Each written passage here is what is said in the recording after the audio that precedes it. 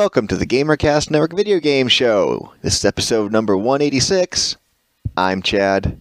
Wait, is this 186 or 185? 187. Why would it do that? Oh my god. Oh, I'm so upset. Uh, and now why are you up? Well, hang on. Okay, this is 186. I'm Chad. We got Bob over here. Yo. And also joining us is Phil Hello. and Ivan. Whatever. Yeah. and soon we'll be joined by Keith. In theory. This week on the GamerCast Network. The end begins with episode 95 of the post game report. This week it's all about God of War 3. On Sarcastic Gamer Pink, Harlequin and Jax cover the Blur beta, good movie games, and male and female male. Halo 2, what's that? Podtacular takes a look back at its roots before Halo 2 on Live finally kicks the can. Discover the community that brings you all these great podcasts and more at GamerCastNetwork.com. Ivan, what's your complaint, by the way? Just for shits and giggles. I only want his complaint for giggles. I don't want any shits. Ivan, shoot. So, uh, I tried. Uh, you can't upgrade from XP to Windows 7. You have to format your hard drive. Right. So, instead of doing that, I created a second partition and installed Windows 7. And then copied all my data. And then came to realize that I couldn't delete my XP partition and reclaim that space as one big partition because my 7 partition came after my XP partition. And you can't reclaim backwards, apparently.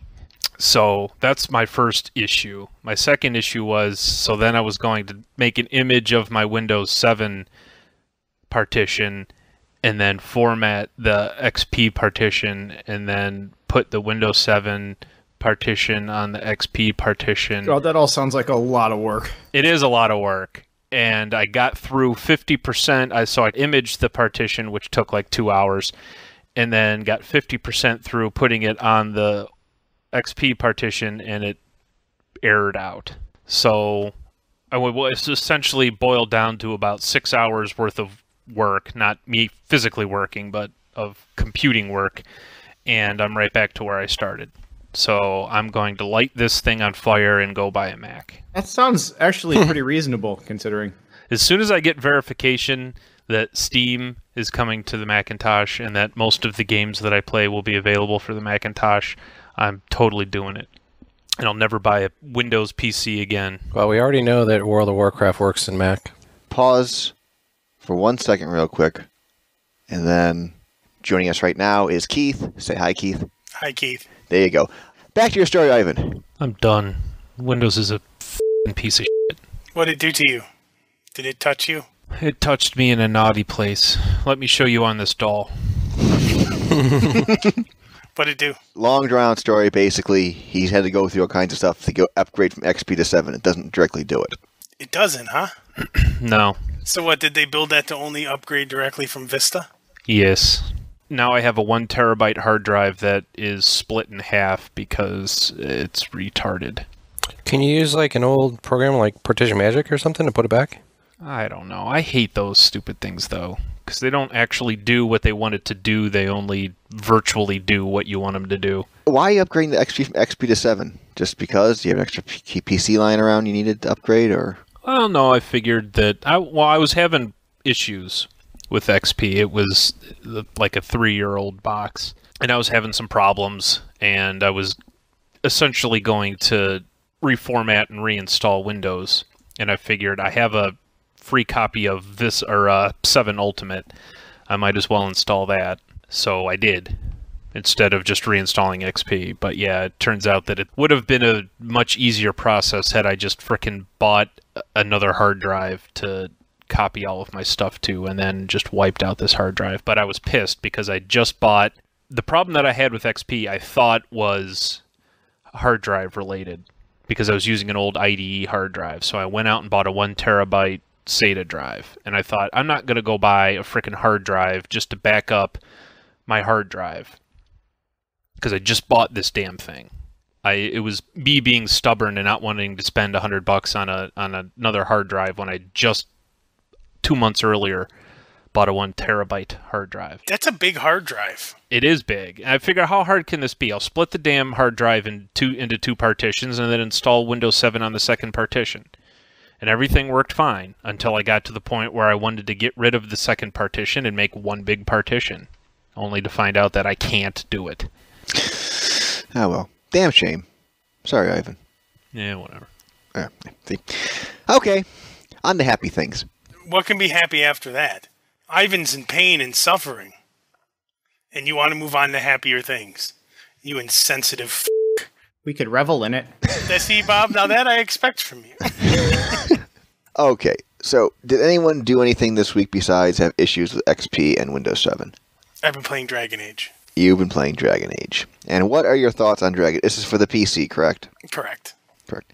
And what are your thoughts on Dragon Age?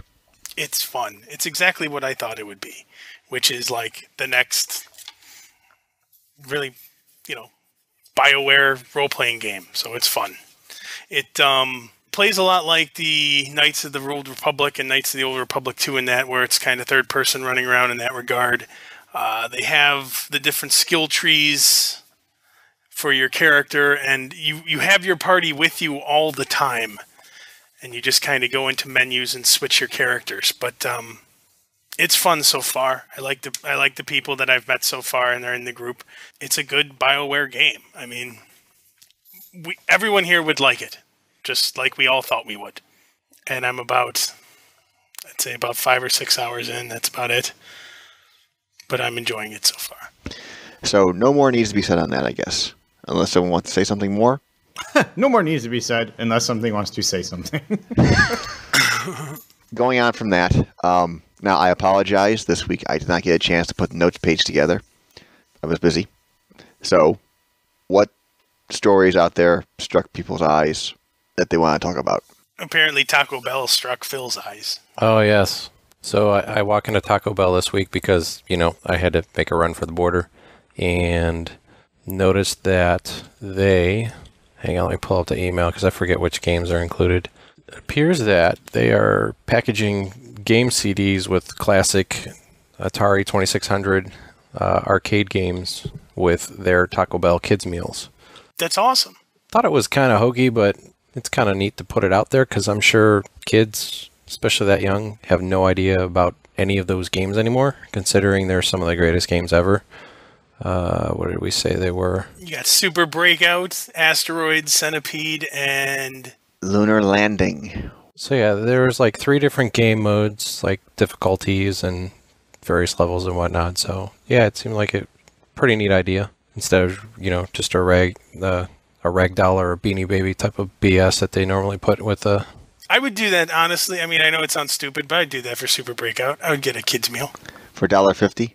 Yeah, I would support that for nostalgia's sake. Uh, cool thing is, it appears to be compatible with PC and Mac. So when uh, Ivan gets his Mac, you know, he can pre-order his Super Breakout I was only half listening. Uh, what format is this? PC or Mac. So it's uh, just a PC install. Probably some kind of stupid flash thing or something. So uh, okay, because you, uh, I'm not trying to be a dick to you, Phil, but what's the point of this? I could be willing to bet you could find all of those games online in some Flash version. I just found it interesting that they're packaging this with kids meal as opposed to, like I said, some stupid plastic thing or beanie baby type of thing. They're actually sticking video games in with kids meals now. Yeah. Yep. Yep. A lot of yeps this episode. Uh huh. I found a. Uh, so before you get all pissy with me, let me explain the premise before you jump down my throat. I found a cool iPhone game that, uh, if it ever makes its way to other platforms, would be cool. It's like um, Puzzle Quest with. Um, you ever play that poker game where you've got a grid of like five by five cards and you have to make the best hand you start off with like nine cards three by three and then you build you use two cards to make a five card hand you know across horizontal vertical or diagonal so this game is that premise with like a role playing game mechanic like uh, puzzle quest. So you can upgrade your character and buy swords and stuff which do different kinds of damage. So you're doing these things so when you get like one pair you damage your opponent for one point and two pair for three points and a full house for you know eight points or whatever. So it's actually pretty fun. It's kind of cool. It's called uh, the cool game that's like Puzzle Quest only with poker. That sounds like that could be fun. Uh, it's called Sword and Poker. All right, the name is a bit lacking. yeah, I wasn't too far off with my weak description, but uh, yeah, that's the uh, that's the it's a it's a kind of a cool premise. I haven't bought the full version, but the uh, the demo's pretty good. Hey, the light came back on. Ooh, a topic for the show. What what light? What what's it do? Oh, nope, no, it's going off. Our kitchen light has been flickering, and we have to go get those long tube lights to replace it, and we haven't. And the light just turned on now for a little bit. If you lived here, it'd mean more to you. If you had to go, you know, do stuff in the dark kitchen, it would probably mean more to you than. When you go do that, can you pick me up a couple? Because uh, mine have been really dim, and I've been told that it's not the light fixture itself; it's that I need new bulbs. Yeah, that's what happens before it like starts going really dim and flickering, like haunted house style, and then it just kind of goes out altogether. You mean you don't want your kitchen to be like a haunted house? Not when I have to wield blades. You guys already know how clumsy I am. I'll be missing digits. Okay, I'm going through last week's mail, which you guys didn't do. Because we knew we'd have nothing to talk about this week. And I wasn't even there. So that's how much foresight I had. We have to do the uh, math contest because we didn't do it last week because we didn't have you math people around. Yeah, yeah. Now here's a little problem with that. Uh, I got a couple entries which I can't upload to the site right now because I'm not at home, and because Gmail is awesome, I can't. I, I tried forwarding them this morning, but they were blocked because Gmail thought they were viruses and bounced them back. Sweet. awesome! So uh, we can either hold off on that contest till next week. Just pick one. Uh, well, I will be here next week, so one math person will be here next week. No, just just right now. Just you've looked at them. Just pick one. Yes. Well, one guy. Okay, okay. Well, hang on. Let me let me look it up real quick, and because I got both of my iPhone, the ones I don't have. Let's see. Here we go. I got the one entry here from Nick. How screwed you are in a zombie apocalypse equals how many zombies there are multiplied by how much they want to eat your brains divided by how many friends you have multiplied by how many guns with lots of ammo you have. If this number is zero, which it probably is, if you're actually attempting to calculate this, then insert number one for this value. Close, but not quite. You you screwed up slightly in there. It should be how many friends you have that you are faster than. And the last one, this was a guy from a school. Uh, his name was Jason. I think he's a graduate student or something. And he was Jason. And he posted a he sent a link. He sent two links. He sent a PDF called "When Zombies Attack: Mathematical Modeling of an Outbreak of Zombie Infection," which is a whole article, which probably was the one that Bob's thing referenced somewhere along the lines. And some article from Miami Herald talking about a disaster recovery exercise for a zombie attack on the University of Florida. Okay. They they were trying to add levity to their disaster attack plans, and they added one for zombie attacks. You know, like tornadoes, terrorist attacks, blah blah blah blah. So they put one in for zombies. Good. One can never be too prepared. Which of those four entries? One. Okay, Bob, pick a number one through four. Four. I concur. Yes, four. Four is the best number ever. Okay, then to the zombie contest. Uh, that was Nick with your division by zero thing, Keith. That was that was him, the one. He was close enough, yes, but it was just that the he he would have had a perfect 100 had it been he added that stipulation, which he did not. So there you go, Nick. You win the Steam games. Congratulations. And next week we'll have a new contest, courtesy of our friends at Game Trailers. Ooh, game trailers. So we will talk about that contest next week. That'll give us some content for next week. So that's what we'll do then. Now, real quick, here is an email, some mail from a listener, I, and uh, uh, this is a follow-up email to that. Remember a couple weeks ago, Adushan Adushan sent in an email, which you guys did we did quick fire for. Yeah, I wasn't around for that, but I remember you people doing it. So he sent in a new one. And first off, he wants to send his congratulations to, out to Bob for correctly pronouncing his name. And he now feels famous because the world famous animator of Shrek pronounced his name correctly. Who, who is this? Wow, world famous, huh? World famous. Who is this guy? Stacy, I think is how you said his name. No, you said his name. It was you. Oh, Stacy. That's the proper way to pronounce it. Good. So he sent in some more rapid fire, quick fire things. Would you like to try these? Yes, we would. Uninformed opinions. Just give us uninformed opinions on what I'm about to say. Ready? Number one All right. 1,099 games were released in America retail stores last year, which are seven more than 2008. Apricot. Next. I'm guessing most of those came out on uh, handheld type peripherals. Clearly, people wanted more games this year than last. Very good. Next. Blizzard admits Dawn of War 2 influenced StarCraft 2. I'm not shocked at all. because it was a really good game. And Blizzard makes all their money ripping off of other games. That's how Warcraft is so good. Look at the original Warcraft, or no, StarCraft. That was freaking Warhammer 40,000. That's all that was. The Protoss were the Eldar, the Zerg were the Tyranids, and the humans were the Marines. Here's one I know very little about. The game Ruse will utilize Windows 7 multi-touch. No, it won't. You're lying. Next, Jack Thompson sues Facebook. Really? How can he do that? Wow, he's running out of people to sue. Oh, he doesn't have to be a lawyer to do that. I forgot. He's just a douche. Five, Disney acquires Marvel for $4 billion. thought that happened like a year ago. Yeah, I just hope that doesn't turn into less or more too cartoony. It will. Look at Pixar. Final Fantasy XIV won't have experience points. Final Fantasy XIV won't have gameplay. It'll be a cinematic. There you go, Bob. That was the perfect response. The FYI, Final Fantasy XIV is the MMO. That changes nothing. Everybody in the world can watch the movie at the same time.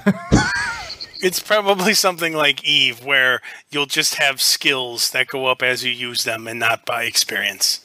I have a feeling they probably didn't learn from their first mistake where, you know, all I kept hearing you guys complaining about is killing bugs all day and you don't gain any experience or don't level anything. I just have a feeling they don't learn from that because they're they just do what they normally do. Number seven, budget for Modern Warfare 2 was 40 to 50 million dollars. that seems that seems reasonable. Yeah, they're going to make more than that, so I don't think they mind spending that kind of money. I'm, I'm treating this like it's a factor crap. I mean, I'm, I'm sorry. but considering how much it's sold and like, you know, how many copies it sold so far, yeah, all right, whatever. And finally, 96 million units of Final Fantasy have been sold. So across everything, 96 million units of Final Fantasy. A lot of people like staring at the screen, not doing nothing. It's just television, except you can say it's a video game. Yeah, what country would that surpass? You're Google Phil. and then you whimper. I gotta do work. 96 million would make it uh, number 14 between Philippines at 13 and Vietnam at 14. Population of the Final Fantasy selling universe is greater than that of Vietnam, right? Yeah, it's right there with the Philippines at 13. Good company, the Filipinos. Their hookers are cheap. Okay, the only real good story here we got out of all these emails, I think, would be this one. Uh, this was from Naday. Hey, VGS crew, I found this article about a new Sony patent for degradable demos, which is basically you get the full game, and after a while, parts of the game will start being removed or blocked, so you won't be able to play unless you buy the full game. What do you think about this? I think that's very dangerous on their part because you know damn well once you have something on your computer, it's yours. And it's only a matter of time before somebody figures out how to keep it or images it right away and prevents it from degrading. So I guess that could be said for all that has to happen is, you know, somebody has to buy the real game once and then just copy it for everybody. But if this is for the the this is for the PlayStation 3, then it's probably not that big of a problem. And will just end up being really annoying. Ivan, you didn't talk about the uh, the iPhone or iPod peripheral for the buttons and the uh, D-pad, the Game Bone.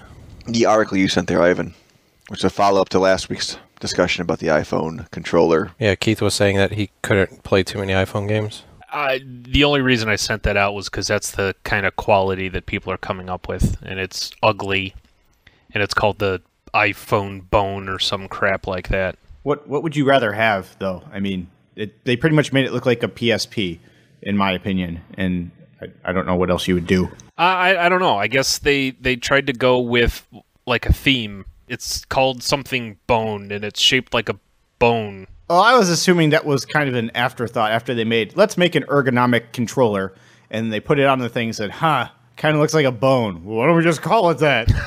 I, I bet you, I bet you, and some marketing guy probably got a promotion. Uh, it could be. Ultimately, I guess I don't care as long as it as it is ergonomic and it, it functions well. But the other problem is is that the ones that I've seen they're all stupid expensive. Like you're gonna wind up paying forty to fifty dollars for a plastic button holder. I have a question though. I mean, okay, so this this is a I didn't look too closely at the picture, but this is a uh, a shell that the iPhone slips in, correct? It's yeah, that's what it appears to be, right? and somehow at the bottom it links into the uh, dock, so it can get it can send the signals from these buttons into the iPhone. right. Okay, so now I have an iPhone, but my iPhone is in a shell, its own protective shell, and I'm not. It's pretty nicely nice shell. I'm not taking it out of this thing. Then you don't get a controller. Exactly. That's what I thought. Okay. Question answered. The biggest problem is you're going to have to get every game developer to support such a thing. Because every game currently only supports the touchscreen for controls. And so if you have external buttons, you're going to have to map touchscreen motions to buttons in this controller thing. So you're going to have to convince game developers to support that. I don't think that'll be a problem. I think having to make a controller on the touchscreen is a bigger pain in the ass than just somebody saying, "Oh no, if you, we have buttons here." that's good in theory, but that assumes that the buttons and button mappings are universal. Like there's a, a standard that somebody can manage to get set because the Oh, granted. uh, iPhone bone with its, you know, four buttons and a The D-pad. iPhone bone. Uh, I didn't say it didn't sound funny and looked stupid. I'm just saying that's probably just. but that's one control thing that somebody has created. Somebody else could create one that's got, you know, shoulder buttons and a start and a select button. And you know what I mean? So you, you either have to have stand uh, standard, I mean, and then the rest is just ergonomics. You don't have that problem when somebody releases a handheld device because the buttons are all already there. And since Apple has not released a standardized button configuration kind of thing, then so the iPhone Bone company is going to have to convince developers to support their peripheral. I would be shocked if Apple just didn't make one. It seems silly to not at this point. Well, the only reason I could think is that they have this touchscreen device, which they think is the awesomest thing ever. It's their touchscreen. So by developing a peripheral that has buttons on it, you're essentially eliminating the whole touchscreen mechanism. And if they're going to do that, they could just as easily create a gaming device. Okay. I, I think we could probably call it here. I don't care. Yeah, see, that's what I thought. It's one of those kind of weeks. Dude, it's been like one of those kind of past two months. I know. Well, you know what? Next week, but next week though, Phil, you're going to PAX East, correct? Yes. I don't know how available I will be Sunday though. You won't be back by Sunday, but the week after that, we'll have something. huzzah. Play Puzzle Quest 2. Yes, I'll have to try to remember that. No, you will remember it. or you'll come home to find your house in flames. And your leg's broken. we'll leave it to you to figure out how that works. Very good. Okay, I think we can call it there. And that was Video Game Show episode number 186 for Sunday. No more dates. hey, it was for Sunday. No, no, that's the whole that's the whole point is you're not supposed to say it's Sunday because nobody gets it until Tuesday and so it's always going to seem like they're late late. It's Tuesday. Do you have your coat? Anybody like to say any final words after I say if anyone would like to contact us, you can always email us at mailbag at videogameshow.org, Skype us at videogameshow, or call us at 320-300-GAME. Obviously, that's a long distance number and all normal fees apply. Go Kentucky. Yeah, that's who I got. Shadow Dream Pie to Kansas and Villanova for sucking and losing to lesser teams and breaking brackets, as they say.